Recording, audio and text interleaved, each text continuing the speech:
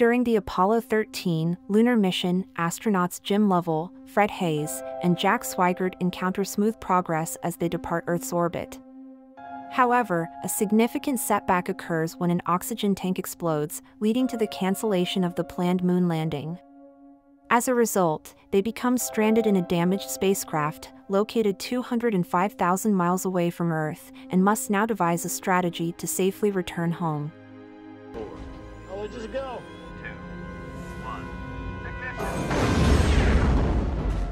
If you want to stay in the loop and receive more exciting videos, make sure to subscribe, click the notification bell, and don't forget to like the video. The narrative begins on July 20th, 1969, at the residence of astronaut Jim Lovell, portrayed by Tom Hanks.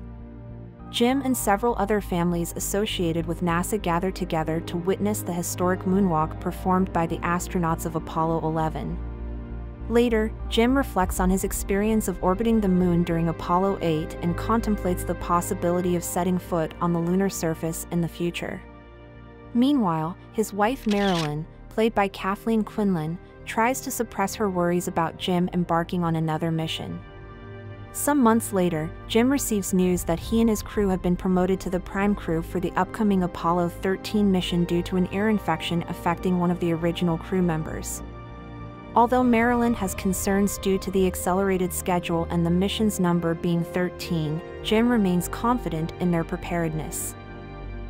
Jim collaborates with his crew members Fred Haise, portrayed by Bill Paxton, and Ken Mattingly, played by Gary Sinise, and the three demonstrate thorough readiness for their mission. Shortly before the launch, Marilyn subtly expresses her reservations about the flight, but Jim assures her that she will miss out on an extraordinary spectacle. Following their conversation, Jim and his crew attend a small press conference where they discuss the various instances where the number 13 is associated with the mission, such as launching at 1,300 hours and 13 minutes and orbiting the moon on April 13th. Jim surprises both the press and the crew by announcing that this will also be his final mission. Days before the mission, the flight surgeon discloses that a member of the backup crew has contracted measles, posing a risk of infection to the primary crew. As Ken Mattingly has not previously had measles, there is a significant chance of him falling ill during the mission. Jim faces a difficult choice either replace Ken with the backup crew member Jack Swigert, portrayed by Kevin Bacon, or postpone the entire Apollo 13 crew to a later mission. Jack receives the news with joy, while Ken is devastated upon hearing it from both Jim and Fred. The crew continues training in the simulator with Swigert, although they harbor some reservations about Jack's piloting abilities compared to Ken's. Nonetheless, Jim assures everyone that they will be prepared for the launch. On the day of the launch, Ken watches from a distance as the rocket takes off, accompanied by Marilyn Lovell and Mary, Fred Haise's wife, played by Tracy Reiner, who are present at the launch site. The launch is successful, relieving Marilyn and Mary as the Saturn V rocket carrying their husbands successfully enters space. Eventually, the crew successfully accomplishes the task of docking the command module with the LEM Lunar Excursion Module, thanks to Swigert's proficient piloting skills, and the mission proceeds towards the moon. They capture a video from inside the craft, but due to a prevailing belief that moon missions lack excitement, none of the television networks broadcast the transmission. Shortly after the video feed, the crew performs routine maintenance tasks on the ship. Jim Swigert is assigned the task of stirring the oxygen tanks. Suddenly, a loud bang reverberates through the spacecraft, causing it to lose stability. The system buttons illuminate and the oxygen tanks begin to malfunction. Mission Control, led by Gene Kranz, Ed Harris, swiftly takes action from the ground, attempting to solve the problem. Amidst the chaos, Lovell reports that the service module is leaking oxygen. At the insistence of EECOM member Bergat, Clint Howard, they consider shutting down the fuel cells to prevent further leakage. However, this decision comes with a trade off. If the fuel cells are closed, they cannot be reopened, and the moon landing will be aborted. Jim Lovell expresses some apprehension, but the crew ultimately proceeds with the shutdown, only to witness the oxygen level in the command module continue to decline rapidly. With only 15 minutes of oxygen left, they initiate an emergency transfer, moving the flight computer's data and the astronauts themselves to the LEM, which serves as a lifeboat. The crew rapidly goes through the three hour power up procedure for the LEM, relying on the data stored in the Odyssey's flight computer and assistance from the ground crew at Mission Control to ensure the accuracy of their course calculations. Eventually, the crew finds safety within the LEM, and control is re established with the Odyssey. Gene Kranz and his team deliberate on the best course of action to bring the astronauts back home. While some propose a direct abort by turning the ship around and heading straight back to Earth using the command module, Gene deems it too risky to ignite its engine, as they are uncertain about the extent of damage caused by the reported explosion. The plan involves utilizing the moon's gravity to slingshot the spacecraft, and upon its return trajectory, they will activate the LEM's engine to guide them back home. The engineers who designed the LEM expressed concerns that their craft was not designed for such a scenario. Nevertheless, Gene insists that it's the only feasible option they have. Meanwhile, Marilyn Lovell endeavors to remain composed and strong for her family. At one point, NASA's media spokesman, Henry Hunt, Xander Berkeley, asks Marilyn if the news stations can set up an antenna on her front lawn. She firmly declines, stating that they can communicate with Jim directly once he returns home. On the spacecraft, the crew ventures into the dark side of the moon, eventually emerging on the illuminated side. Despite Haise and Swigert's excitement upon seeing their intended landing site below and Jim's contemplation of walking on the moon's surface, Jim reminds them that their primary focus should still be on preparing for their journey back home. During this critical time, Mission Control discovers that there is only 45 hours of power remaining on the spacecraft, which is insufficient for the astronauts to make it back home.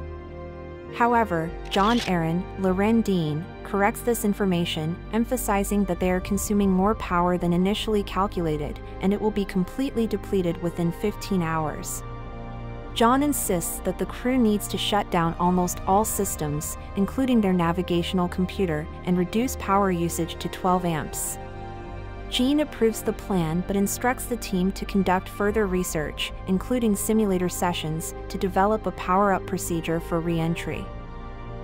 Ken Mattingly, who had been isolated at home and missed the news about the mission's complications, is called in and immediately begins working in the simulator. Ken believes that by eliminating unnecessary procedures from the checklist, they might be able to bring the astronauts back with the limited power available. He directs the simulator team to replicate the same conditions and equipment as those aboard the Odyssey, dedicating long hours without breaks to devise a procedure.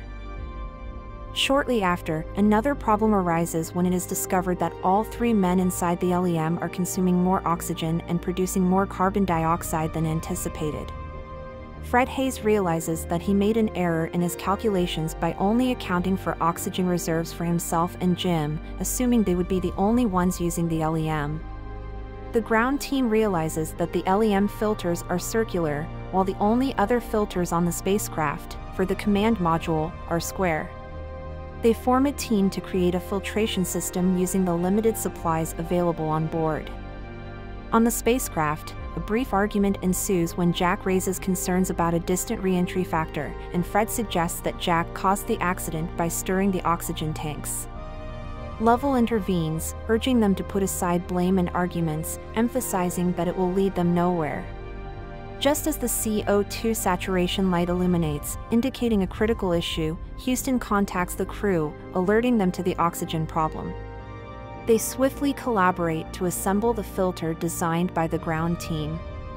The procedure proves successful, effectively purifying the air supply inside the ship. When it becomes evident that the crew needs to perform a manual burn to correct their trajectory for Earth reentry, Jim and the team execute a challenging 30 second burn using rudimentary physics. Since the course computer had to be shut down to conserve battery power, they rely on one of the LEM's windows, keeping Earth aligned in it for navigation. The three astronauts work together to pilot the ship, and the burn is executed successfully. With their trajectory corrected, Jim and the crew eagerly await the completion of the power up procedure, but they are informed that it is still being finalized. However, there is a glimmer of hope when Mission Control mentions that Ken Mattingly is working on the issue. The crew feels the coldness creeping in since the heaters had to be deactivated, and Haise begins to experience illness and a moderate fever. Ken has optimized his work to the best of his abilities, yet the procedure still exceeds the desired amperage by 4 amps. It is at this point that Ken suggests redirecting some of the surplus power from the Lunar Excursion Module, LEM, back into the command module. Although there will be some power loss during the transfer, it is found that the available amperage is sufficient to complete the procedure without compromising the system's power. Ken and his colleagues swiftly proceed to mission control, bringing along the procedure. Ken assists the exhausted Jack Swigert in powering up the systems, while Jim and Fred add additional weight to the command module pod to compensate for the lack of moon rock samples that were originally planned for.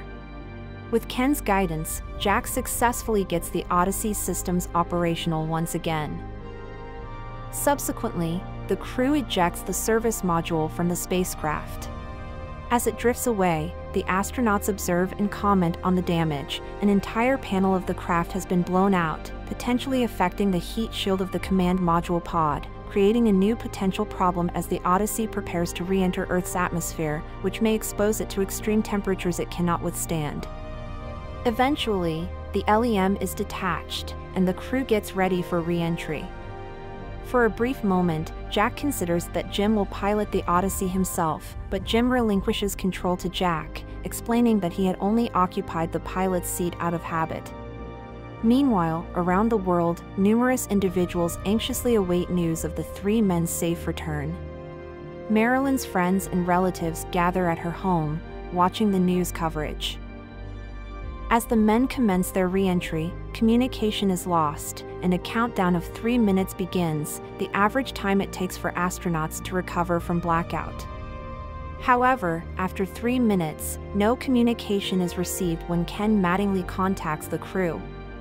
The time stretches agonizingly to four and a half minutes before suddenly Jim Lovell's voice is heard, accompanied by a video feed showing the capsule with its parachutes deployed.